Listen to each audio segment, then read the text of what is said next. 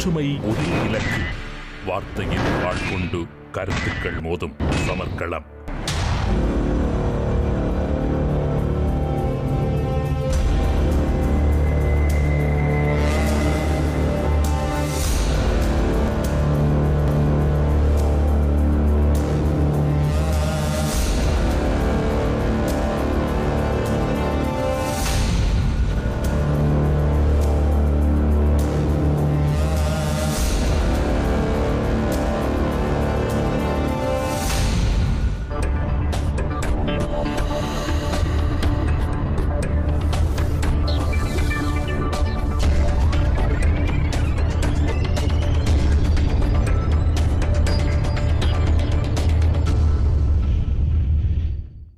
எண்ணங்களின் முனையில் வார்த்தைகளின் வாழ்கொண்டு கருத்துக்கள் மோதும் சமர்க்களம். நேருக்கு நேர்.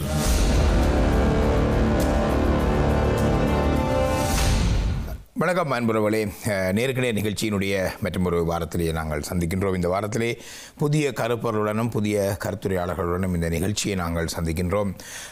முக்கியமாக பத்து கருத்துரையாளர்களை இந்த நிகழ்ச்சிக்கு நாங்கள் அழைத்திருக்கின்றோம். பத்து பேரும் இன்றைய கருப்பொருளிற்கு ஏற்றாற்போல் அதற்கு அணி செய்யக்கூடிய அல்லது அந்த துறை சார்ந்து பணியாற்றுகின்ற அல்லது பணி செய்த அனுபவங்களுக்குரியவர்களாக இந்த நிகழ்ச்சியை நாங்கள் தொகுத்திருக்கிறோம். இந்த வகையிலே முதலிலே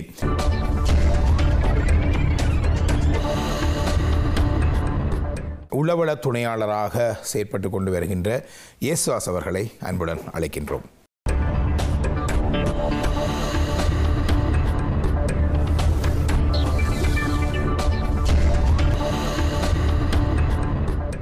திரு குமாரநாயகம் அவர்களை அன்புடன் அழைக்கின்றோம்.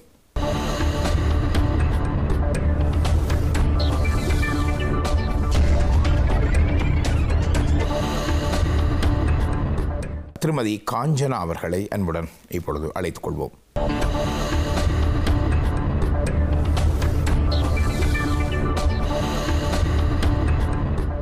இப்பொழுது பாவை பாரனை அன்புடன் வரவேற்றுக் கொள்வோம்.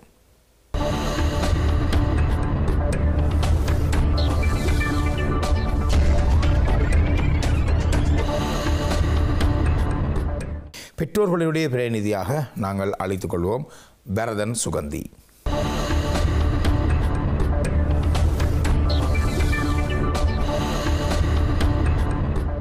இப்பொழுது அழைத்துக் கொள்வோம் ஸ்ரீ கிருஷ்ணன்.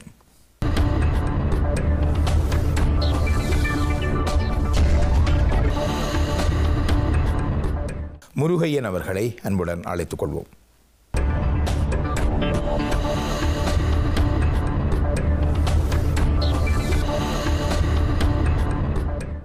குழந்தைகளினுடைய பிள்ளைகளுடைய பிரதிநிதிகளையும் அழைத்திருந்தோம். அதிலே அடுத்து அழைத்துக் கொள்வோம் சுபாஷ் பரதன்.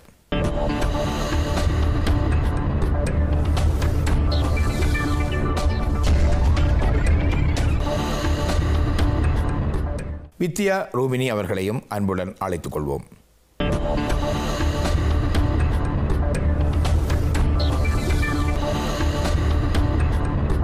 இளைய தம்பி செல்வத்துறை அவர்களை அன்புடன் அழைத்துக் கொள்வோம்.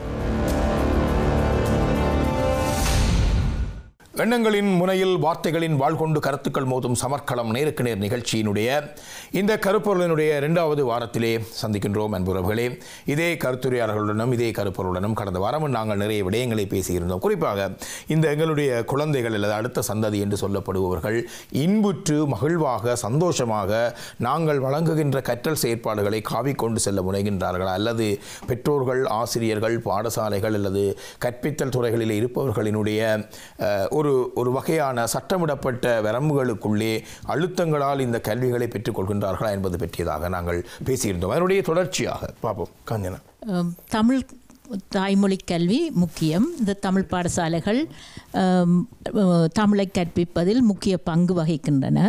சந்தோஷம்.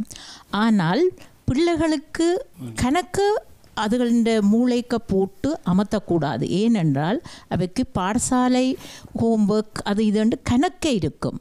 ஆனபடியால் தமிழ் படிக்க வார பிள்ளையை நாங்கள் வரவேற்க வேண்டும். அந்த பிள்ளை சந்தோஷமான முறையில் அந்த தமிழை கற்க வேண்டும் என்பதில் ஆசிரியர்களும் பெற்றோர்களும் அதில் பங்கு வகிக்க வேண்டும். சில பெற்றார்கள் என்ன செய்கிறார்கள் என்றால் தமிழ் டெஸ்ட் சோதனை வருதுன்ற உடனே வீட்டில் பிள்ளையை போட்டு கஷ்டப்படுத்துறது. நீ நைன்ட்டிக்கு மேலே எடுக்க வேணும். ஒரு ட்ராஃபி வாங்க வேணும் ப்ரைஸ் கிவிங்கில் ரெண்டு பிள்ளைகள் பிள்ளைகளை போட்டு அது கஷ்டப்படுத்துகிறார்கள் ஆனால் நான் தமிழ் ஆசிரியை என்ற முறையில் நான் சொல்கிறது நீங்கள் முதலும் கூட ஸ்கூல் ஹோம்ஒர்க்கை செய்யுங்க. அதற்கு பிறகு ஒரு கொஞ்ச நேரம் ஒரு இருபது நிமிஷம் பதினஞ்சு நிமிஷம் டெய்லி இந்த தமிழை படியுங்கோ. உங்களுக்கு ஏதாவது விளங்காட்டி என்ன வந்து கேட்கலாம் அல்லது உங்களுடைய அம்மா அப்பாவுக்கு தமிழ் தெரியும் அவையை கேட்கலாம். நீங்கள் எந்த நேரமும் உங்களுடைய ஐயப்பாடுகளை எங்களுடன் கதைத்து தீர்க்கலாம் என்று சொல்கிறது மற்றது அவையை வந்து நாங்கள் அவையை அட்ராக்ட் பண்ணணும் டீச்சர்ஸ் டீச்சர்ஸ் வந்து பிள்ளை தமிழ் பாடம் படிக்கிறதுக்கு நாங்கள் அவையே ஒரு வசீகரம் செய்ய வேணும். அது எப்படி என்றால் அந்த சில பிள்ளைகளுக்கு தமிழ் கதைக்கவே வராது. சில வேளையில் நாங்கள் படிக்க இங்கிலீஷில் ஆங்கிலத்திலும் அவர்களுக்கு சொல்லிக் கொடுக்க வேணும். தனியாக தமிழ் பேசினால் அது சில வேளை நினைக்குங்கள் தென் இந்த டீச்சர் என்னவோ கணக்கெல்லாம் சொல்கிறோம் எனக்கு ஒன்றுமே விளங்கலை உதாரணத்துக்கு ஒரு பிள்ளை ஒரு நாள் நான் கேட்டேன் உங்களுடைய அப்பாட பேர் என்னன்னு கேட்டேன். அப்போ அந்த அப்பாட பேர் என்னன்னா பிள்ளை நல்லா முழுசுது. முழுசிக்கொண்டு இருந்து போட்டு பேருந்து சொல்லிச்சது ஐ கால் ஹிம் அப்பா. ஏன் அப்போ இப்படி சொல்கிறீங்களே என் அப்பான்ற பேர் என்ன? It's a long name I can't pronounce that என்று சொல்லி போடுது அதுக்கு அப்புறமா நான் சொன்னேன் நீங்கள் போய் ஒருக்கா அம்மாட்ட கேளுங்கோ இல்லை அப்பாட்ட கேளுங்கோ. உங்களோட அப் பேர் என்னன்னு கேட்டு ஒருக்கா சொல்லி பார்த்துட்டேன். ஆனால் அதுக்கிடையில் நான் ரெஜிஸ்டரில் பார்த்துட்டேன். உண்மையாக ஒரு லாங் நேம் தான். அந்த பிள்ளை கஷ்டப்படுது. அந்த அந்த இது என்னென்னா வீட்டிலேயும் அந்த பிள்ளையோட நான் நிற்கிறேன் பேரண்ட்ஸ் தமிழை க கதை கதைக்காமல் இங்கிலீஷ்லேயே கதைச்சதோ இனி ஸ்கூலில் அந்த பிள்ளை நெடுக இங்கிலீஷில் கதைக்கிறது. அந்த பிள்ளைக்கு தமிழை உச்சரிக்கவே கஷ்டமாக இருக்குது. அப்படிப்பட்ட பிள்ளைகள் தமிழ் பாடசாலைக்கு வரைக்க நாங்கள் கட்டாயம் ஆங்கிலத்திலும் அந்த பிள்ளைகளுக்கு என்ன வேணும். மற்றது அந்த பிள்ளை எதை விரும்புதோ இப்போ பாடல் மூலமாக தமிழை கற்பிக்கலாம். ஒரு பாடல். இப்போ ஆனாவண்ணாவை சொல்லி கொடுக்கலும் ஆனா ஆவண்ணா என்று சொல்லி கொடுக்க பிள்ளைக்கு கூட அது ஒரு இது. இது நான் என்னுடைய வகுப்பில் இது பரீட்சித்து பார்த்தேன். சந்தோஷப்படுகிறார்கள். எங்கே ஆனாவண்ணாவில் ஒரு பாட்டு பாடுங்கொண்ட உடனே இதை சந்தோஷமாக ஏற்றுக்கொள்கிறார்கள். மற்றது இப்போ மெய் எழுத்துக்கள் பதினெட்டு நீங்கள் அவ்வளத்தையும் பாடமாக்குங்கன்னு சொன்னால் பிள்ளைக்கு கஷ்டம். இஞ்சன்னா இதுகளெல்லாம் பிள்ளைன்ற வாய்க்கால வராது. இங்கன்னா இஞ்சன்னாக்குள்ள வேறுபாடே தெரியாது. அப்போ நாங்கள் சொல்கிறது நீங்கள் இந்த பதினெட்டையும் முதல் ஆற சொல்லி பாருங்கூடா. ஆற சொல்லுங்கோ. இப்போ இந்த மிச்ச ப ஆறையும் எழுதுங்க. மிச்ச இப்போ இந்த அடுத்த ஆறையும் எழுதுங்க. அப்படித்தான் இந்த பிள்ளைகளை வசீகரிக்கக்கூடியதா? வசீகரிக்கக்கூடியதாக நாங்கள் கற்பிக்க வேணும் அல்லது சில கதைகள் மூலம் பிள்ளைகளை பள்ளிக்கூடத்துக்கு வாரத்துக்கு அட்ராக்ட் பண்ணலாம். நெடுகன் நாங்கள் வகுப்பில் சொல்கிறது தமிழ் கஷ்டம் இல்லை ஆனால் கஷ்டமென்று நினைக்காதீங்கோ. நீங்கள் தமிழை கஷ்டமென்று நினைக்காதீங்கோ. நீங்கள் பா நெடுக ஒரு கொஞ்சம் கொஞ்சமாக படியுங்க. உங்களுக்கு எவ்வளவு வேலுமோ அதை படியுங்க. சில நாடகங்களை நாங்கள் இந்த பரிசளிப்பு விழாதுகளில் போடிக்க அந்த கதையை அந்த நாடகம் முடிந்த உடனே எங்கே இந்த கதையை இருக்கா சொல்லுங்கொண்ட உடனே அழகாக சொல்லுகிறார்கள். ஏனென்றால் பாட்டு கதை நாடகம் மூலமாக எங்களோட பிள்ளைகளுக்கு அதுவும் புலம்பெயர்ந்த நாடுகளில் வாழுகிற பிள்ளைகளுக்கு நாங்கள் தமிழை கற்பிப்பது மிகவும் நல்லது. நான் நினைக்கிறேன் நீங்கள் காஞ்ச மிக அழகாக சொன்னீங்கள் என்னென்னு சொன்னால் இதைத்தான் நான் சொன்னது. நாங்கள் வச்சிருக்கிற வழிமுறைகள் பிள்ளைகளை கற்றலுக்கு ஒரு ஃபார்மல் சிஸ்டத்தில் தான் இன்னும் இருக்கிறோமான்றதான் அவனுக்கு சில பிரச்சனையாக இருக்குது இந்த பிள்ளையை மகிழ்வழிப்பு கூடாக கற்றுக்கொள்ளுங்கள் என்றது வந்து பிள்ளையை விளையாட விடுறது மாத்திரமில்லை. அவன் பாடசாலைக்கு வந்து மகிழ்வாக அதை கற்றுக்கொண்டான் என்றால் அவனுக்கு அது ஒரு ஒரு அழுத்தமாக இருக்காது. ஆடல் பாடல் நாடகங்கள் நீங்கள் சொன்ன இந்த விடயங்களுக்கு கூட நிறைய கற்றுக்கொள்வார் ஆனால் அதில் எனக்கு எனக்கு தெரியும் நான் பாடசாலைகளில் பேரையும் சொல்லல இதை நானே என்னுடைய ஒரு இங்கே இருக்கக்கூடிய ஒரு பாடசாலையில் கண்ணூராக கண்டது. ஒரு ஆசிரியர் புதிதாக வந்து தான் பிரயோக அரங்க முறைமைகள் என்று சொல்லி கற்றுக் கொடுத்து ஒரு நாடகத்தை ஒரு ஒரு சின்ன ஒரு ரோல் பிளே மாதிரி செய்து அதுக்குள்ளாக நிறைய சொற்றொடர்களை அவர்கள் கற்றுக்கொள்வதற்காக செய்த பொழுது அங்கே இருக்கக்கூடிய தலைமை ஆசிரியர் இப்படியே போனால் நாங்கள் சிலபஸை முடிக்க இயலாது இது இல்லை எங்களுக்கு தேவை என்று சொன்ன தமிழ் பாடசாலை லண்டனில் இருக்கின்றன என்பதை இந்த இடத்தில் நான் பதிவு செய்து கொள்ள விரும்புகின்றேன். எனவே இப்போ நாங்கள் இங்கே இந்த இந்த நிகழ்ச்சி கூட இலக்கு வைக்கிற விஷயம் அவனுக்கு எது பிடிக்குதோ அவனுக்கு டிவைஸ் தான் விருப்பம் என்றால் அவனுக்கு டெட் மேட்ச் தான் விருப்பம் என்றால் திருக்குறளை டெட் மேட்சுக்குள்ளே கொண்டு வராத கொண்டு வருவதற்கு தயாரில்லாத ஒரு தமிழ் சமூகம் நாங்கள் இருக்கிறோம். இன்று இது இங்கே இருக்கக்கூடிய மிக முக்கியமான பிரச்சனை. இப்போ நான் கேட்க வேண்டிய விஷயம் அதுதான். ஆனால் என்ன படிக்கிறதும் ஃபைனான்ஸ் படிப்பிக்கிறதும் இல்லை. இந்த இந்த வழிமுறையில் படிப்பிக்க போகிறோம்ன்ற முக்கியமானது நான் நினைக்கிறேன். பாவை ஜெயபாலனும் பாடசாலையோட கூட நீங்கள் ஈடுபடுறீங்க அதிபராக இருக்கிறீங்க. நீங்கள் எப்படி பார்க்குறீங்க இதை? ஆமாம். பதிமூன்று ஆண்டுகளாக சட்டன் தமிழ் பாடசாலையை இயக்கிக் கொண்டிருக்கின்றவர்கள் என்கின்ற வகையிலே பள்ளியினுடைய அனுபவம் என் இல்லத்து பிள்ளைகளுடைய அனுபவம் ஆகிய இரண்டையும் இவர்களுடைய கருத்துக்களோடு ஒட்டி எண்ணி பார்க்கின்ற போது இந்த கற்பித்தல் முறையிலே இங்கே ஏற்கனவே கூறப்பட்ட வழிமுறை க கடைப்பிடிக்கப்பட வேண்டும். கடைப்பிடித்து வெற்றியை நாங்கள் கண்டிருக்கின்றோம் என்பதை இங்கு பதிவாக்குவதில் பெருமையடைகின்றேன். இதே வழியிலே அடையாளம் என்பது அடுத்த தலைமுறைக்கு காவப்பட வேண்டும் என்ற அவ்வா எல்லா மனித இயல்பு. அது பொதுவானது. இங்கே கூட பிரெக்சிட் என்பது அந்த ஒரு எழுச்சியினுடைய ஒரு காரணம் என்றும் கூறலாம். ஆக பெற்றோர்கள் இசைவாக்கம். அதாவது பெற்றோர்கள் தங்களுடைய மனங்களில் தங்களுடைய இல்லங்களில் எந்த வகையிலே கலை கலாச்சார மொழி பண்பாடுகளை கடைப்பிடிக்க வேண்டும் என்ற எண்ண ஆசையை கொண்டிருக்கிறார்களோ அது பிள்ளைக்கும் அங்கே இசைவாக்கம் பெற்று பிள்ளைக்கும் அது வழிநடத்தப்படுகின்றது. கம்பன் விட்டு கட்டுத்தறியும் கவி பாடும் என்பதை போல. பள்ளியிலே நாங்கள் ஆரம்ப பாலர் பாடசாலையிலே பாலர் வகுப்பிலே நாங்கள் நாற்பது முதலாக ஐம்பது பிள்ளைகளை மூன்று பிரிவுகளிலே வைக்க வேண்டிய தேவை இருக்கின்றது. ஆனால் அதே பிள்ளைகளுடைய தொகை விட்டு விட்டு அற்று லெவன் ப்ளஸ் என்பதற்காக எட்டி போய் அதற்கு பிறகு மேல் நிலையை தொட்டு ஏழ் வரை போகின்றவர்களுடைய எண்ணிக்கை பத்து வரையில் தான் தேரும் எட்டும் ஆகும். இடையிலே இன்னும் குறைகின்ற சந்தர்ப்பங்களும் இருந்திருக்கின்றது இந்த பதிமூன்றாண்டு காலங்களில். ஆக இதில் நான் கூற பதிவாக்க விரும்புகிறது என்னவென்றால் அந்த இசைவாக்கம் எண்ணம் என்பது திணிப்பு என்பது அவரவர் விருப்பத்தையும் பொறுத்தது பெற்றோர்கள் பிள்ளைகளுடைய விருப்பம். ஈட்டல் ஊட்டல் என்பதெல்லாம் இங்கே இல்லை. அந்த கணிப்புகள் எல்லாம் அவரவர் மனத்தை பொறுத்தது.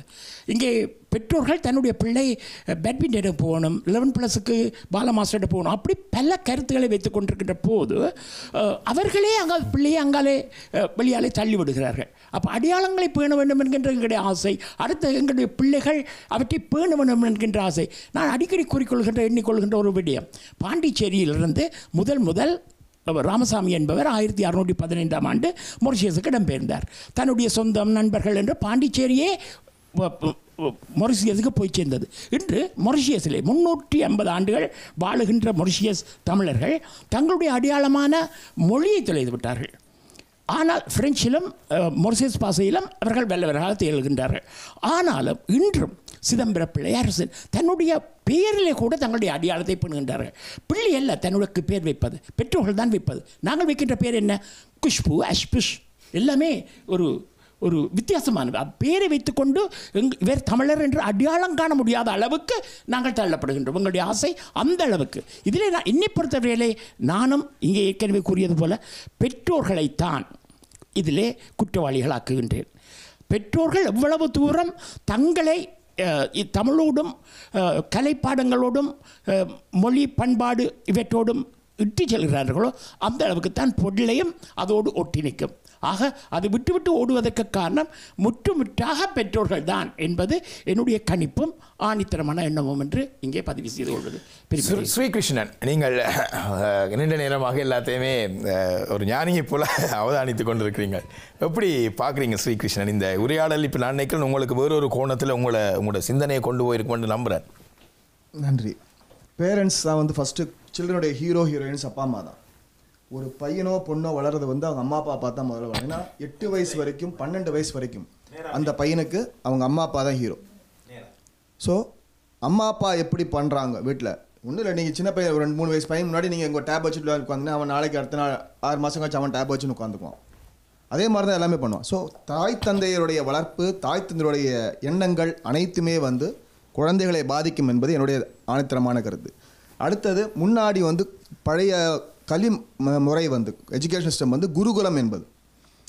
குருவோட குரு குலத்தில் இருந்து அவங்க தனியாக போயிடுவாங்க. ஹாஸ்டல் இப்போ ஹாஸ்டல் மாதிரி அப்போது ஸோ அவனுக்கு அந்த ஒரு ப்ரெஷர் தான் இருக்கும். இப்போது ஸ்கூலில் படிக்கணும். ஸ்கூலில் படிச்சு வந்து வீட்டுக்கு வந்து ஹோம்ஒர்க் பண்ணி இங்கே ப்ரெஷர் ஸோ அந்த எஜுகேஷனுடைய ப்ரெஷர் ரெண்டு இடத்துலையுமே இருக்குது அவனுக்கு. வீட்டில் வந்து கொஞ்சம் ரிலாக்ஸ் பண்ணு அப்படிங்கிற மாதிரி விளையாடப்போ அப்படி. முன்னாடி நாங்களாம் தான் கிராமத்தில் வெளியில் விளையாடப்படுவோம். சாயங்காலம் அஞ்சு மணி ஆச்சுன்னா ஆறரை மணி வரைக்கும் வீட்டுக்குள்ள வரமாட்டோம். நாலரை மணிக்கு ஸ்கூலுக்கு வருவோம். ஆறரை மணி வரைக்கும் வெளியில் ஆத்தங்கரை ஓரம் அந்த மரத்தடியில் எங்கேயாச்சும் விளையாடிட்டு இருப்போம். So we are having sufficient நிறைய நேரம் இருந்து இது எங்களுக்கு ரிலாக்ஸ் பண்ணுவதற்கு அதுக்கப்புறம் ஆறரை மணிலேருந்து ரெண்டு மணி நேரம் வீட்டில் உட்காந்து சொல்லிட்டு இருப்பாங்க. ஸோ அந்த டைம் கொடுத்தாங்க. இப்போ அந்த டைமே இல்லை. வரியா அடுத்த கிளாஸ் என்ன? அடுத்த இந்த கிளாஸ் கம்ப்யூட்டர் கிளாஸ் அடுத்தது என்ன? ஸ்கூல் இப்போ. நைட் ஒம்பது படுத்தே ஆகணும். காலைல ஆறு மணி எந்திரிச்சே ஆகணும். ஸோ உங்களுடைய லைஃப் வந்து ஒரு mechanical life machine life you are going on அந்த ஒரு மெஷின் மிஷின்தனமான மெக்கானிக்கலான ஒரு லைஃப் பண்ணும்போது you are losing your own ability உன்னுடைய சுயநலத்தையும் சுய சிந்தனையும் சுய கட்டுப்பாட்டையும் எடுக்கக்கூடியதுக்கு உண்டான தன்மைகள் நிறைய இருக்குது ஸோ தாய் தந்தை அதுக்கு உண்டான ஒரு சமயத். ஒன்றும் இல்லை ஒரு பையனுக்கு வந்து என்ன இன்ட்ரெஸ்ட் நம்மளால் கண்டுபிடிக்க முடியாது. எப்படி? நம்ம வீட்டுக்குள்ளே அவனை வச்சுருந்தோன்னா அவனை கண்டுபிடிக்க முடியாது. அவனுக்கு எதில் இன்ட்ரெஸ்ட் எனக்கு தெரியும்? அவனுக்கு நாலு இடத்துக்கு கூட்டு போகணும். வி ஹாவ் டு தாய் தந்தைய கு- குழந்தைகளுடைய நேரம் செலவிடுவதை மிகவும் குறைந்து விட்ட காலம் இது.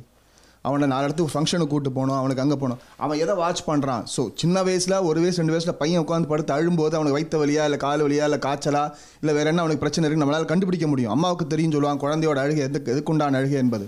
அப்படி இருக்கும்போது ஒரு குழந்தையோட பார்வையில் அவன் எதை இன்ட்ரெஸ்ட் பண்ணுறான் எதில் பார்த்து அவனுக்கு ஆர்வம் மிகுதியாக இருக்குங்கிறத நம்மளால் கண்டுபிடிக்க முடியும். ஸோ நாலஞ்சு இடத்துக்கு அவனை கூட்டு போனால் தான் அவன் எதில் இன்ட்ரெஸ்ட் இருக்குது அப்படி. ஏன்னா நான் எனக்கு வந்து சின்ன வயசில் எனக்கு எதுவுமே இன்ஸ்ட்ருமெண்ட்லாம் எதுவும் தெரியாது. நிஜமாகவே எனக்கு எதுவும் தெரியாது. மேண்ட்லின் சீனிவாசன் உங்களுக்கு தெரிஞ்சிருக்கும் எல்லாருக்குமே தெரிஞ்சிருக்கும். அந்த மேண்ட்லின் சீனிவாசன் வர அவர் அவருக்கு வந்து அப்போது வயசு வந்து பதினாலு வயசு. எனக்கு வயசு ஒம்பது. அந்த நேரத்தில் வந்து நான் அங்கே ஒரு கச்சேரி போயிருந்தேன். அதுக்கப்புறம் தான் எனக்கு தோணுது. ஏன்னா மேண்ட்லின் கண்டிப்பாக படிக்க முடியாது. ஏன்னா ரொம்ப கை இதாவோட இன்ஸ்ட்ருமெண்ட் சொல்லிக் கொடுக்கறதுக்காக ஸோ அப்போ நான் வயலின் படிக்கிறேன் அப்படிங்கிறத என்னோட கான்செப்ட் எடுத்துக்கிட்டேன். ஸோ நான் ஆறு வருஷம் அதை வயலின்ங்கிறது நான் இப்போ கண்டு என்னோட இன்ட்ரெஸ்ட் போச்சு அதில். ஸோ எனக்கு என்ன இன்ட்ரெஸ்ட் அப்புறம் சேர்த்து விட்டாங்க வயலில் சேர்த்து விட்டேன்னு அடுத்த ஒரு வாரத்தில் என்ன சேர்த்து விட்டாங்க நல்ல நாள் பார்த்து. ஸோ என்னோட இன்ட்ரெஸ்ட் எப்படி அவங்க கண்டுபிடிச்சாங்க அப்படின்னா நான் சொல்கிறத வச்சு அவங்க கண்டுபிடிக்கிறாங்க. ஸோ எனக்கு தோணணும் இது எனக்கு பிடிச்சிருக்கு இது எனக்கு பிடிக்கல அப்படின்னு. அப்படி பண்ணா தான். வீட்டில் அம்மா அப்பா தமிழில் பேசுகிறாங்கன்னா பையனும் தமிழில் பேசுவான். வீட்டில் நீங்கள் வந்து இங்கிலீஷில் ஹாய் ஹாய் மா ரைட் இப்படின்னீங்கன்னா அவனும் அதே தான். அதை அப்படி நீ தமிழ் பேச நீ கன்ஃபார்ம் முடியாது நான் டேப் வச்சு வந்து வீட்டிலேருந்து வந்தோடனே நான் டேப்பில் ஃபேஸ்புக்கில் வச்சு உட்காந்துருப்பேன் கம்ப்யூட்டரில் உட்காந்துருப்பேன் பையன் அதே மாதிரி கம்ப்யூட்டர் வாங்கி கொடுத்து தான் கேட்பான். நீங்கள் அவனை ஒன்றும் சொல்ல முடியாது. So you are guiding your son or daughter அப்படி இருக்கும்போது நீங்கள் சொல்கின்ற செய்கின்ற ஒன் எந்த ஒரு செயலையும் உங்கள் மகன் பார்க்கின்றான். உன்னிப்பாக கவனிக்கணும் ஏன்னா வேறு யாரையும் அவன் பார்க்கறதில்ல. ஸ்கூலில் ஃப்ரெண்ட்ஸோட பேசுகிறான் அவன் ஜாலியாக போடுறான் ஆடுறான். ஆனால் உன்னிப்பாக கவனிக்கிறது வீட்டில் தாய் தந்தையர் என்ன செய்கின்றார்? அம்மா அப்பா என்ன பண்ணுறாங்க அவன் என்ன பண்ணுறான் கம்ப்யூட்டர் பார்க்குற ஸோ கம்ப்யூட்டர் பார்க்குறது தான் லைஃப் ஏன்னா பன்னெண்டு வயசு வரைக்கும். அஞ்சில் விளையாது ஐம்பதில் விளையாது. பிஞ்சில் இதாச்சுன்னா ஒன்றும் பண்ண முடியாது. ஸோ நம்மளை கவனிக்கும் போது நம்ம என்ன பண்ணுறோமோ அதை அவன் பார்த்துட்டு இல்லை மிக அழகாக சொன்னீங்கள் கிருஷ்ணன் என்னென்னு சொன்னால் பிள்ளையை நாங்கள் நாலு இடத்துக்கு கொண்டு போவதற்கு ஆன முடிவுகளை எடுக்க வேண்டும் என்று. ஆனால் நாங்கள் பிள்ளைகளை அனுப்புகின்ற அந்த நாலு இடத்துக்கான தெரிவும் ஏதோ ஒரு வகையிலே கற்றலுக்கான தெரிவாக இருப்பதுதான் அவனுக்கான விளையாட்டு நம்ம அனுப்பக்கூடாது. வி ஹாவ் டு நம்ம கொண்டு போகணும். நல்ல இடம். இந்த மாதிரி தமிழ் சங்கத்துக்கு உண்டான ஒரு இது கம்பன் க- விழா இல்லை இந்த மாதிரி விழாக்கள் நிறைய இருக்கும். நம்மளே இங்கே நிறைய நடத்துறாங்க தமிழ் ஸ்கூல் நிறைய அந்த மாதிரி விழா அப்போ அவனுக்கு பார்த்தன ஒரு இன்ஸ்பிரேஷன் நம்மளும் நாளைக்கு இந்த மாதிரி போய் நின்று வாங்கணும். அவனை ஃபோர்ஸாக நம்ம இப்போ சொன்னாங்க ப்ரெஷர் பண்ணி விட்டுறோம். ப்ரெஷர் பண்ணாமல் இன்டெரக்ட் அவனை நம்ம இன்டியூஸ் பண்ணணும் உள்ளே இருந்து. நம்மளை வந்து ஒரு இட்ஸ் வி ஆர் கேட்டலிஸ்ட் அவ்வளோதான் கிரியா ஊக்கி நம்ம வந்து ஒரு கேட்டலிஸ்ட் நம்ம அவனை வந்து அவனுக்கு உள்ளுக்குள்ளே என்ன திறமை இருக்குங்கிறத நம்ம ஊக்குவிக்கணும். அப்போ நம்ம அது வந்து அவனை போய் நீ படி படின்னு சொன்னால் கண்டிப்பாக பண்ண. எந்த குழந்தையுமே வந்து நம்ம இதை பண்ணு அப்படின்னு சொன்னால் பண்ண மாட்டாங்க. பண்ணாதேன்னு சொன்னால் பண்ணுவாங்க. இட்ஸ் சைல்டு சைக்காலஜி அது. குழந்தையோட சைக்காலஜி அதுதான். நான் பண்ணக்கூடாதுன்னா பண்ண பண்ணும். பண்ணுனா பண்ணாது. பண்ணாது. ஸோ நம்ம அப்போ அப்போ என்ன பண்ணணும்? அவனுக்கு வந்து எதிர்மறையாக சொல்லிக் கொடுக்கக்கூடாது அவனுக்கு இதை பா இப்போ நம்மளும் நாளைக்கு இந்த மாதிரி ஒரு ஃபங்க்ஷனுக்கு போகிறோம் அங்கே ப்ரைஸ் வாங்குற அப்படின்னா ஓ நாளைக்கு நம்மளும் இந்த மாதிரி ப்ரைஸ் வாங்கணும். அதுக்கு என்ன பண்ணணும்? அப்பா அம்மாட்ட சொல்லுவான். அப்பா எனக்கு நான் தமிழ் படிக்கணும். எனக்கு பண்ணு. இல்லை எனக்கு மிருதங்கம் படிக்கணும். எனக்கு தமிழ் மிருதம் கற்றுக் கொடுங்க. ஸோ அவனை இன்ட்ரெஸ்ட் அவனையே இன்ட்ரெஸ்ட் பண்ண வைக்கணும். ஸோ அப்போ தான் அவனுக்கு தெரியும் அவனுக்கு என்ன வேணுங்கிறது நமக்கு தெரியும்.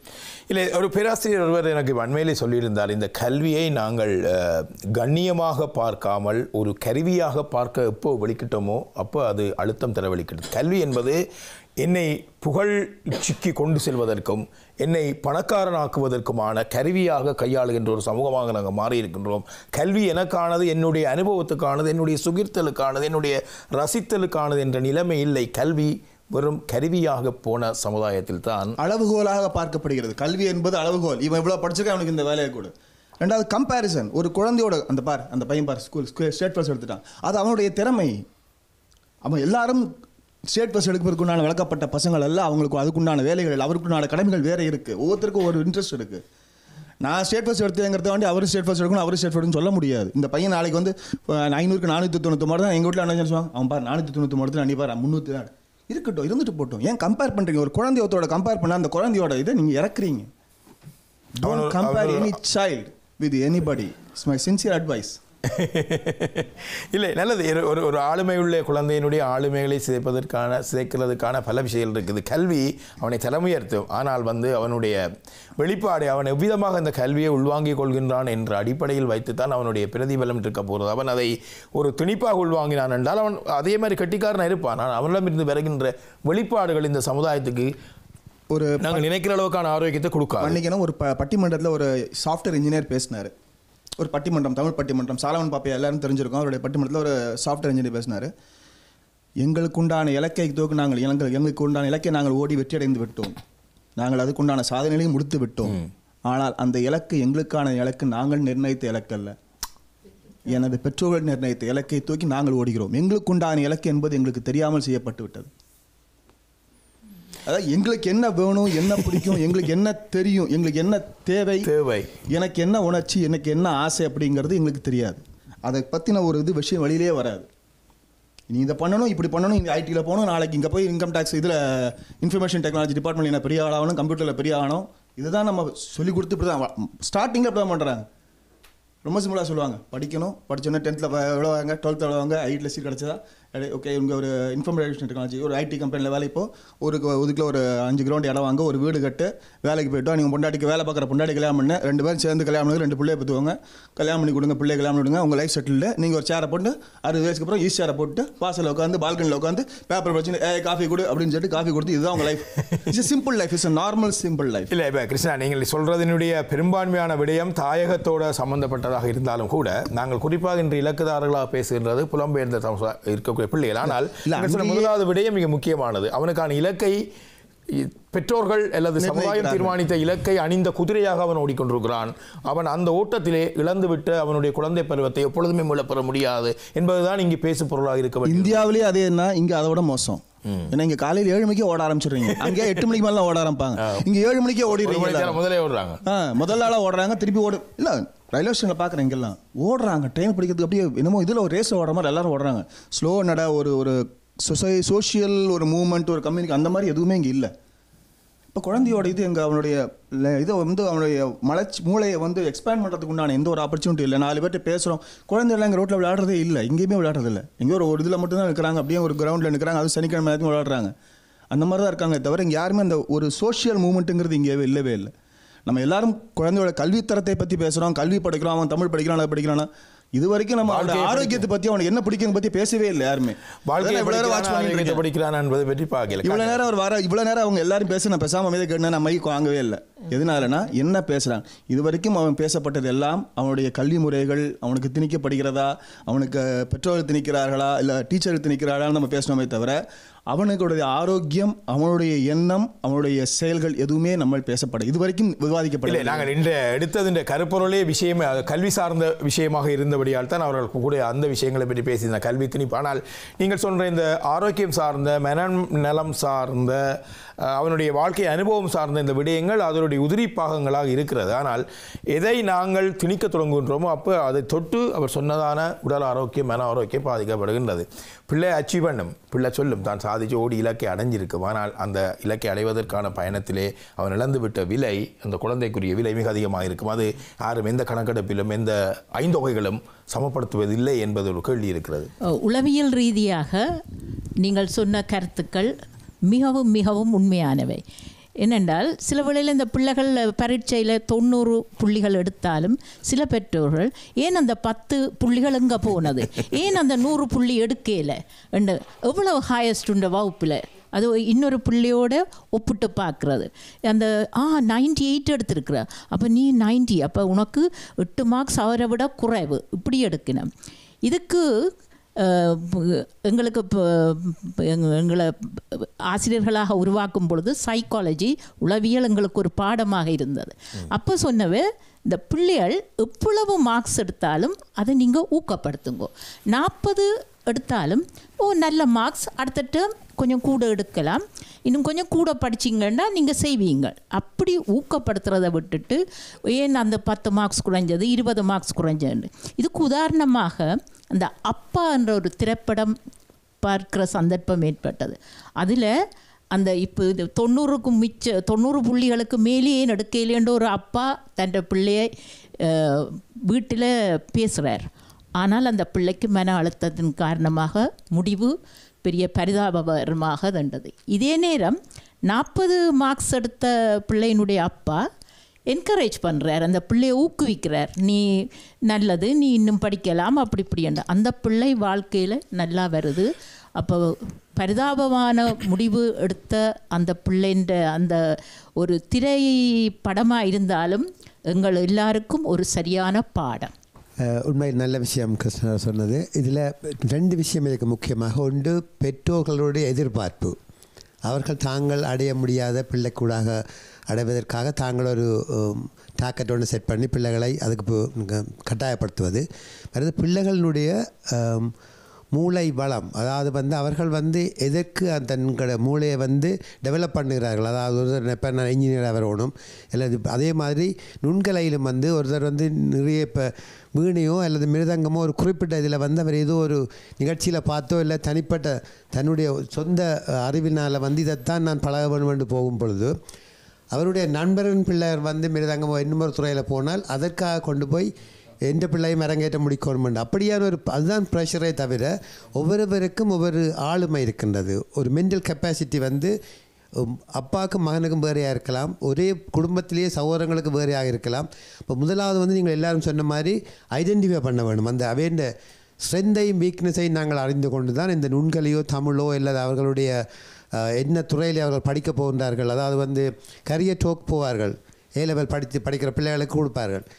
பிள்ளைகள் பேரண்ட்ஸ் சொல்லிவிடுவாங்க நீ மெடிசின் தான் செய்யணும் இல்லை அக்கௌண்டன்ட் செய்யணும் ஆனால் பிள்ளை எதிர்பார்த்து கொண்டு இருக்கு நான் ஒரு ஆர்கிடெக்டாகவோ துறைகள் வந்து அவர்கள் வந்து நிச்சயமாக நல்ல ஒரு நிலைக்கு வரக்கூடிய துறையில் போனால் விரும்பி படித்தார்கள் விரும்பி அந்த துறையில் இறங்கினால் அவர்கள் வந்து நல்ல ஒரு பொசிஷனுக்கு போவார்கள். பேரண்ட்ஸின் கட்டாயத்தினாலேயோ அல்லது சமுதாயத்தின் எதிர்பார்ப்பினாலேயோ அந்த பிள்ளைகளை வந்து நாங்கள் திணிக்கிறதால நுண்கலை மட்டுமில்லை அவர்களுடைய வாழ்க்கை முறையும் வந்து மாற்றமடையும். நீங்கள் சொன்னீங்கல்ல ஒரு நல்ல துறையை தெரிவு செய்தால் போவார்கள். இப்போ நான் சொல்கிறேன் அவர்கள் எந்த துறையை தெரிவு செய்தாலும் போவார்கள் என்று பிரித்து நாங்கள் சொல்கிறோம் இல்லை இல்லோ இப்போ நாங்கள் டிஸ்கிரிமினேட் பண்ண பார்க்குறோம் நல்ல துறை கூடாத துறை நடுத்தர துறை கீழ்த்துறைன்னு சொல்லி.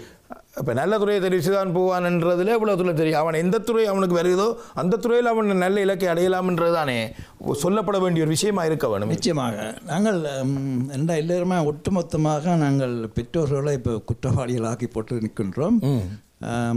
பிள்ளைகளுடைய ஆசைகளுக்கு நாங்கள் அவர்களை விடுவதில்லை என்று. ஆனால் நாங்கள் ஒன்றை யோசிக்க வேண்டும். பிள்ளை ஒரு ஆறு வயது பத்து வயது பன்னெண்டு வயதாக இருக்கும் பொழுது அந்த பிள்ளைக்கு உலகம் என்ன மாதிரி இருக்க போகுதுன்னு தெரியாது. அதை வழி நடத்த வேண்டியவர்கள் உண்மையில் பெற்றோர்கள் தான். பெற்றோர்கள் வந்து ஒரு காலம் தங்களோட பிள்ளைகள் வந்து கூடாமல் போகணும் என்று சொல்லி ஒரு மானும் வழி நடத்த மாட்டார்கள். அம்மாவும் சரி அப்பாவும் சரி. அப்போ நாங்கள் கொஞ்சம் பெற்றோர்கள் கொஞ்சம் கவனமாக இருக்கணும் என்னென்னா நாங்கள் எங்களுடைய ஆசைகளை அவர்களிடம் திணிக்காமல் அந்த பிள்ளைகள் வந்து அவர்களுக்கு எது திறமை இருக்கிறதோ அந்த திறமையில் அவர்களை நாங்கள் வழி நடத்த செல்வோம் முடியும் நாங்கள் அந்த எங்களுடைய ஆசைகளை நாங்கள் திணிக்கப்படாது. ஆனால் வழி நடத்த வேண்டிய கடமை வந்து பெற்றோர்களுக்கு தான் இருக்கின்றது இப்போ நாங்கள் தாயகத்தில் இருக்கும் பொழுது சில தொழில்கள் தான் மிகவும் முக்கியமான தொழில்களாக பெற்றோர்கள் கருதுகிறார்கள். சரி ஆனால் இந்த நாட்டில் வந்து அப்படி இல்லை. நீங்கள் நல்ல ஒரு ஃபுட்பால் பிளேயர்னா நீங்கள் உங்கள் மெட்டாக்கள் மக்கள் மிக கூட காசு உழைப்பீங்கள் சரியோ? இப்போ இந்த நாட்டில் வந்து கன பேர் ஜேர்னலிசம் அந்த கன பிள்ளைகள் போயிருக்கின்றார்கள். ஒரு கால ஒரு கொஞ்ச காலம் இருந்தது தனியாக மெடிசனோ இன்ஜினியரிங்கோ செய்கிற பிள்ளைகள் இருந்தது. இப்போ வந்து பிள்ளைகள் ப்ரோடாக படிக்கின்றார்கள். அது வந்து ஒரு முக் ஒரு ஒரு முக்கியமான மாற்றம் என்று தான் நான் சொல்லுவேன். மற்றது நான் ஒரு பத்து வருடத்துக்கு முதல் இருந்த பெற்றோர்கள் பிள்ளைகளுக்கு அந்த போட்டி மனப்பான்மை கொடுத்த ப்ரெஷரிலும் பார்க்க இப்போ உள்ள அடுத்த ஜெனரேஷன் இன்னும் குறைவாக தான் இருக்கின்றது. நான் பாடசாலையில் பல பெற்றோர்களுடன் இருபத்தைந்து வருடமாக நான் பழகி இருக்கின்றேன். நான் அவதானித்து அது குறைந்திருக்கின்றது. மற்றது வந்து நாங்கள் சின்ன பிள்ளையிலேருந்து அந்த பிள்ளைகளின் மைண்ட் செட்டை நாங்கள் மிகவும் முக் வள வடிவாக வளர்க்க வேண்டும். சில பேருக்கு வந்து வாழ்க்கை எப்போவுமே பிரச்சனையாக தான் இருக்கு. சரியோ? இப்போ அந்த இரு கோடுகள் மாதிரி அவர்களுக்கு அந்த ஒரு பிரச்சனை இருந்தால் இன்னொரு பிரச்சனை வந்தால் அந்த முதலாவது பிரச்சனை போகும். சிந்தனா போகுவோ? சரி அப்போ எங்கள் என்னோட ம- அந்த பாடசாலையில் ஒரு ஆள் இருக்கிறார். அவருடைய நான் ஏதாவது ஒரு விஷயத்தை செ- சொன்னா முதல் சொல்கிற வார்த்தை வந்து. பிரச்சனை என்னென்றால் என்று தான் சொல்கிறேன் இல்லை சரியோ. இப்போ ஆனபடியால் வந்து நாங்கள் வந்து இப்போ நான் இப்போ வேலை செய்கிற இடத்துலையும் சரி இப்போ பாடசாலையிலும் சரி வேறு இதுலையும் சரி பல விதமான அழுத்தங்களை எதிர்நோக்கியிருக்கிறேன் மிகவும் கூலன் காமாக இருந்தீங்கன்னா நீங்கள் எந்த பிரச்சனையும் நீங்கள் மிகவும் லாபகமாக. லாபமாக கையாளலாம். சுபா சொல்லுங்க.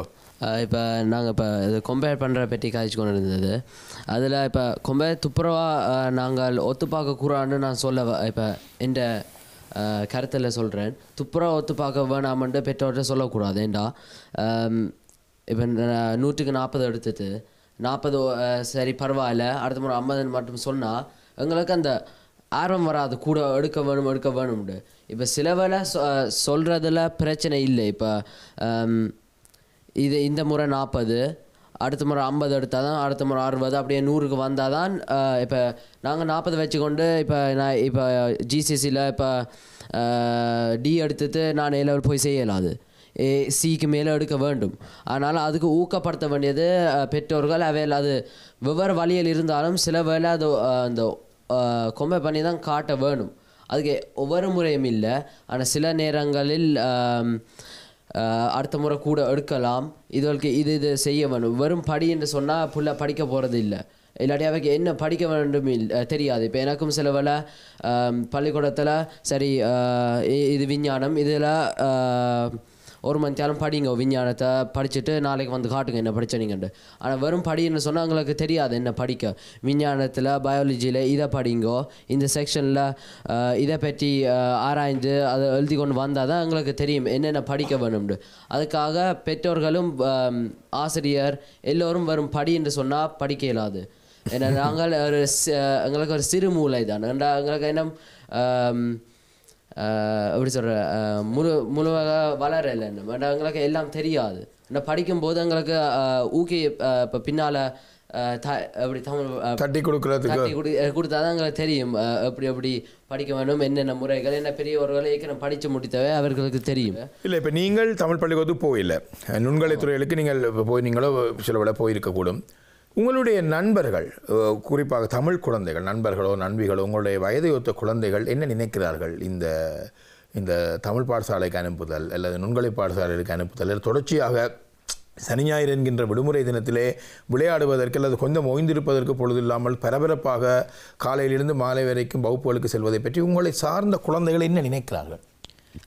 இப்போ என் நண்பர்களை சொல்லியிருக்கணும். என் அவ எல்லாரும் ஒரு ஒரு பத்தில் கிட்டத்தட்ட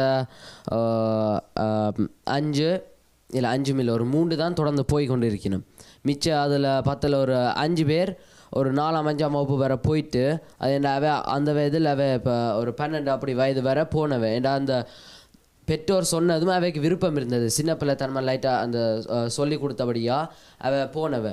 பிறகு அது நின்றுட்டினம். ஏன்னா அவைக்கு அதில் ஆர்வம் இல்லை. அப்புறம் ஒரு முக்கியமான இது என்னென்னா அதில் என்ன தரன் இருக்கு என்ன அது அது அதால் பிரயோசனம்? அதால் என்ன பிரயோசனம் இல்லைன்னு தெரியலை. இப்போ இங்கே நாங்கள் பள்ளிக்கூடத்தில் ஃப்ரெஞ்ச் படிக்கிறோம் இங்கிலீஷ் இதுவெல்லாம் எங்களோட எதிர்காலத்தில் உதவும். வெவ்வேறு வெளி வெவ்வேறு நாட்டு வரல வெவ்வேறு இதுவல்ல படிக்கிறதுக்கு உதவும். ஆனால் தமிழ் படித்து என்ன செய்யலாம்? எனக்கு சங்கிலியனை பற்றி தெரிஞ்சு நான் என்ன செய்கிறது இந்தந்த இடத்த பற்றி தெரிஞ்சு கோயில்களை பற்றி தெரிஞ்சு என்ன செய்கிறது அதால் தான் கன பிள்ளைகள் இப்போ படிக்க விருப்பம் இல்லாமல் இருக்கின்றது. இந்த இளம் சந்ததியினுடைய அல்லது நாங்கள் இலக்கு வைக்கக்கூடிய இந்த இளைய சந்ததியினுடைய குரல் மிக முக்கியமானது. நான் நினைக்கிறேன் அடுத்து நீங்கள் உங்களுடைய கருத்தை நீங்கள் பதிவு செய்யணும்னால் இந்த நான் நினைக்கிறேன் கடந்த வார எபிசோட்லேயும் நீங்கள் இந்த அவதானித்து கொண்டிருந்ததை நான் அவதானித்து கொண்டிருந்தேன். எப்படி பார்க்குறீங்க ரூபினி? என்னை பொறுத்த வரைக்கும் ரெண்டு பகுதியுமே சரிசமமான ஒரு பங்கை எடுக்க வேண்டும் என்று தான் நான் சொல்கின்றேன். பெற்றோர்கள் பெற்றோர்களுக்கு தெரியும் சிறுவயது முதலே குழந்தைகள் வளரும் பயிரை முளையிலே தெரியும் என்று. மிருதங்கம் ஆசைப்படுபவர் ட்ரம் எடுத்து வீட்டில் பால் மாட்டின் எடுத்து தட்டி கொண்டிருப்பார். அதுலேருந்து பார்க்கவே தெரியும் குழந்தை தாள தாள இதுக்கு ஆசைப்படுகிறதுண்டு அதே நேரம் நாங்கள் ஒரு கல் மாதிரி இருக்கிற குழந்தைய செதுக்க வேண்டிய கடமையில் நாங்கள் இருக்கிறோம். கல்லுக்கு உயிர் இல்லை உணர்வில்லை ஆனால் குழந்தைகளுக்கு உயிர் உணர்வுகள் ஆசைகள் எல்லாம் இருப்பதால் அவர்களை நாங்கள் வெளியில் கொண்டு போய் எல்லா எல்லா விதமான கலைகளையும் அறிமுகப்படுத்தத்தான் வேணும். ஏனென்றால் கலைகள் என்பது படிக்கும் பொழுது அந்த செல்வானா சொன்ன போ சொல்ல சொன்ன மாதிரி படிக்கும் பொழுது கலைகளையும் நுண்கலைகளையும் மற்றும் எக்ஸ்ட்ரா கலி கரிக்குலம் ஆக்டிவிட்டிஸ்னு சொல்லுவார்கள். மேலதிகமான தகமைகளை வளர்த்துக்கொள்ளும் குழந்தைகளே மிகவும் சிறந்த குழந்தைகளாகவும் கல்விமான்களாகவும் இருப்பதாகத்தான் அறிக்கைகள் காட்டுகின்றன. ஏனென்றால் உதாரணமாக எடுத்துக்கொண்டால் சங்கீதத்தை எடுத்துக்கொண்டால் சங்கீதம் படிக்கும் பொழுது ஸ்ருதி ராகம் தாளம் எல்லாத்தையும் ஒரு நேரம் நாங்கள் ஒருமுகப்படுத்தி அதை கான்சன்ட்ரேஷன் ஒருமைப்பாட்டை நாங்கள் வளர்த்துக்கொள்கிறோம் அது எங்கள் பாடசாலையில் படி படிக்கும் பொழுது கான்சன்ட்ரேஷன் ஸ்பேன் அந்த ஒருமை ஒருமைப்படுத்துதல் திறத்தை வளர்த்தி வளர்த் வளர்க்கிறது. இப்படியான கலைகள் நுண்கலைகள் ஒவ்வொரு சின்ன விஷயத்தையும் ரசிக்க செய்யும். ஆனால் இதில் பெற்றோர்களின் கடமை என்னவென்றால் அதனால் வரக்கூடிய சங் சங்கீதம் என்பது என்னையும் சந்தோஷப்படுத்தி மற்றவர்களையும் சந்தோஷப்படுத்தும் ஒரு கலை. அது உனக்கு இதை வளர்க்கும்னு சொல்லி அதனால் வரக்கூடிய விஞ்ஞானபூர்வமான ஆன்மீகபூர்வமான எல்லா இதுகள் விளக்கங்களையும் கொடுத்து அவர்களை கொண்டு சென்று எல்லா விதமான இதுகளையும் அறிமுகப்படுத்தலாம். அறிமுகப்படுத்தும் பொழுது இப்போ ஒரு நல்ல ஒரு இயற்கையிலேயே ஒரு குரல் வளமுள்ள குழந்தை சங்கீதத்தில் தொடர்ந்து படிக்கலாம். குரல் வளம் குறைவான பிள்ளை வாத்தியத்தில் ஒன்று படிக்கலாம். தானாகவே அதை தெரிவு செய்து கொள்ளும் தெரிவு செய்ய முடியாவிட்டால் நாங்கள் வழிகாட்டுபவர்களாக இருந்து வழிகாட்டலாம். அதே போல் ஆசிரியர்களும் நிச்சயமாக ஒரு குழந்தையின் முன்னேற்றத்திலும் மாற்றத்திலும் பெரும் பங்கு ஆசிரியர்களுக்கும் இருக்கின்றது. அவர்கள்தான் ஒரு சிற்பிகளாக இருக்கிறார்கள். இப்பொழுது உதாரணத்துக்கு எடுத்துக்கொண்டால் மிகவும் சிறந்த கல்வியில் ஒரு உயர்ந்திருக்கின்ற நாடாக ஃபின்லாண்டை சொல்கிறார்கள். ஏனென்று சொன்னால் அங்கு குழந்தைகள் சிறுவயது குழந்தைகள் ஏழு வயது வரை விளையாட விடப்படுகிறார்கள். அவரது மகிழ்ச்சியான பருவம் பறிக்கப்படுவதில்லை. அங்கு வந்து இந்த ரெண்டு வயசுலேயே கொண்டே குழந்தைய பிளே ஸ்கூல் என்று சொல்லி குழந்தைகள் விளையாடத்தான் வேணும். பிளே ஸ்கூலில் போய் விளையாடுகிறார்கள் தான். ஆனால் அந்த விளையாட்டை நாங்கள் வீட்டிலேயே அம்மா அப்பா இந்த அவரோட அவர் பூவை பார்த்து ரசிக்கும் குழந்தை ஒரு சின்ன சின்ன விஷயங்களையும் அது கற்றுக்கொள்கிறது. அம்மாவுடன் இருக்கும்போது ஆயிரம் விஷயங்களை கொள்கிறது. முதலாவது ஒரு குழந்தைக்கு எந்த குழந்தையும் நல்ல குழந்தை தான் மண்ணில் பிறக்கையிலே. நாங்கள் கற்கின்ற கற்பிக்கின்ற இந்த மொழியானது மற்றும் நுண்கலைகளானது எதுவுமே குழந்தைகள மலநிலையை எதிர்காலத்தின் வாழ்க்கை திறத்தை பாதிக்காமல் ஒரு நல்ல சிட்டிசனாக மனநிறைவான ஒரு வாழ்க்கையை வாழ்கின்ற ஒரு மனிதனாக அவனை உருவாக்குவதற்கு உதவியாக இருக்க வேண்டுமே தவிர எங்களுக்கான தாய்மாரின் தகப்பன்மாரின் இமேஜை உயர்த்துவதற்காக எங்கள் ஆசைகளை அவர்கள் திணிப்பதற்கான ஒரு கருவியாக நாங்கள் குழந்தைகளை மாற்றிக்கொண்டு வருகிறோம் என்றதை மறுப்பதற்கு இல்லை அனைத்து நூற்றுக்கு எண்பது வீதமான பெற்றோர்கள் லெவன் ப்ளஸ் என்றால் தலைமுடியெல்லாம் கலைந்து அப்படி பைத்தியம் பிடித்த மாதிரி ரோட்டில் திரிவதை நானும் பார்த்திருக்கின்றேன். அந்த லெவன் ப்ளஸ் தான் அந்த குழந்தையின் என்ற ப்ரெஷர் ஆரம்பமாக இன்னும் இருக்க இருந்து கொண்டிருக்கிறது. அப்படி சில அரங்கேற்றங்களை அவட பிள்ளை அரங்கேற்றம் செய்துட்டா நானும் அரங்கேற்றம் செய்யணும்னு சொல்லி அரங்கேற்றத்துக்கு மட்டுமான உருப்படிகளை மட்டும் படித்துவிட்டு வந்து அரங்கேற்றம் செய்து அந்த கலையின் ஆரம்பம் அரங்கேற்றமாக இருக்க வேண்டிய நிலைமையில் அதுவே முடிவாகி அரங்கேற்றம் முடிந்ததும் அங்கு வைத்து விடுகிறார்கள். வீணையை பூட்டி வைத்து விடுகிறார்கள். சில ஆசை உள்ள பிள்ளைகள் மட்டுமே தொடர்ந்து படிக்கிறார்கள். நாங்கள் படிக்கும் கலைகள் கடைசி வரை எங்களுடன் வர வேணும். அது எங்களுக்கு உதவியாக இருந்து மற்றவர்களுக்கும் உதவியாக இருக்கணும். நாங்கள் படிக்கிற ப மொழி தாய்மொழி எங்கள் செழுமையான மொழி. நாங்கள் ஒரு மிகவும் அதிர்ஷ்டமானவர்கள். எங்கள் செழுமையான ஒரு செம்மொழியை தாய்மொழியாக கொண்டிருக்கிறோம் என்பதை குழந்தைகளுக்கு நாங்கள் சின்ன வயசிலிருந்தே விளங்கப்படுத்தி இப்போ உதாரணம் சொல்லப்போனால் செல்வானாண்ட பிள்ளைகள் இங்கு பிறந்து இங்கு வளர்ந்தவர்கள் எப்போ பேசினாலும் தமிழில் தான் பேசுவார்கள். ஆங்கில நண்பர்கள் இருக்கும்போதும் தமிழில் பேசுவார்கள்.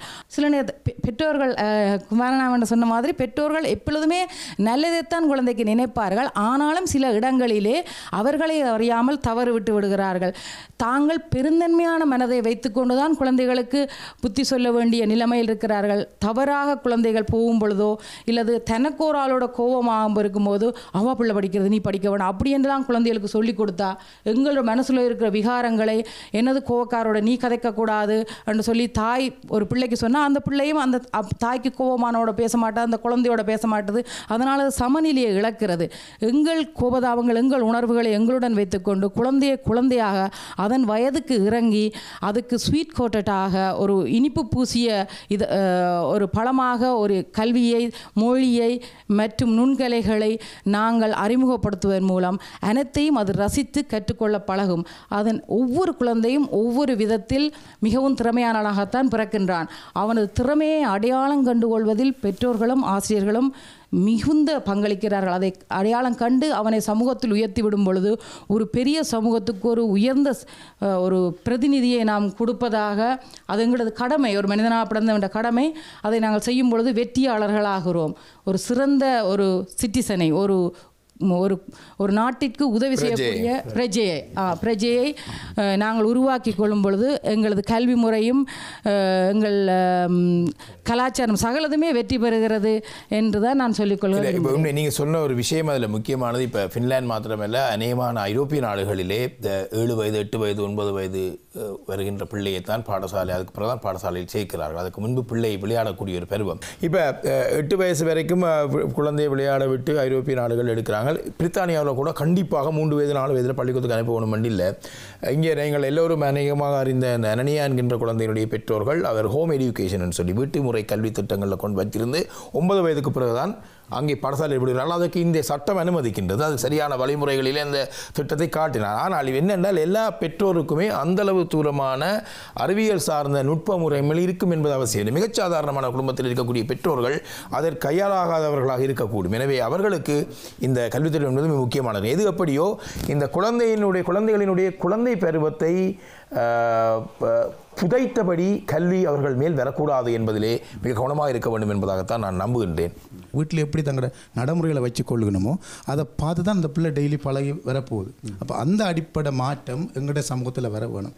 ஆனால் இப்போ இவர் சொன்ன மாதிரி முழுட்டு முழுதாக நாங்கள் பெற்றோரில் குறை சொல்கிறோம்ன்ற அந்த குறை அந்த முறப்பாட்டை வந்து ஏற்றுக்கொள்ளத்தான் வேணும். இருந்தாலும் அதுக்கு நீங்கள் சொன்ன அந்த கடைசியில் சொன்ன ஒரு விஷயம் என்னென்று சொன்னால் எங்களுக்கு ஆரம்பத்தில் இங்கே இப்போ பத்து வருஷத்துக்கு முதல் பார்த்ததை விட இன்றைக்கு நாங்கள் முன்னேறிக்கிறோம் அந்த விஷயத்தில்.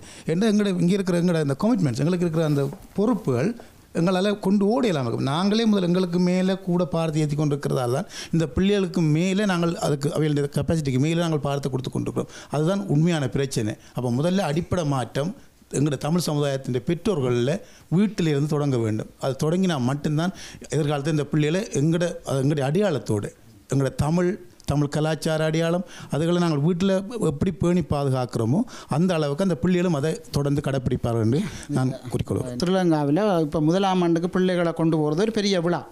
கால் கூழ் விழா என்று அதுக்கு பேர் வச்சு அவைக்கு மாலை போட்டு பள்ளிக்கூடத்துக்கு சந்தோஷமாக பிள்ளைகளை வரவேற்கிறார்கள். அப்போ தான் அந்த பிள்ளை அதில் ஒரு நல்ல மனப்பதிவு பெ- பெறுது அதில்.